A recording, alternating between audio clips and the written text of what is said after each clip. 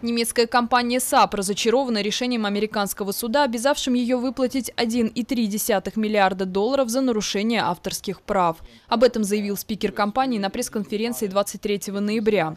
SAP – один из крупнейших в Европе разработчиков программного обеспечения. Еще три года назад его главный конкурент на рынке, американская компания Oracle, обвинила SAP в нелегальном доступе к сайту своей технической поддержки. Согласно обвинению, SAP действовала через дочернюю компанию Tomorrow Now.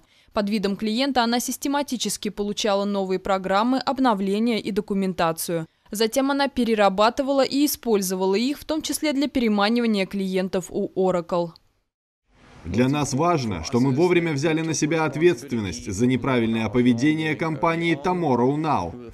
Теперь мы сконцентрируемся на своем бизнесе и лидерстве на рынке и не ожидаем, что это повлияет на нашу коммерческую деятельность. Свою вину SAP признала еще до начала судебного процесса. Она заявила, что ущерб, причиненный ее действиями, оценивается в 40 миллионов долларов. Тем временем Oracle назвала цифру 1,6 миллиарда.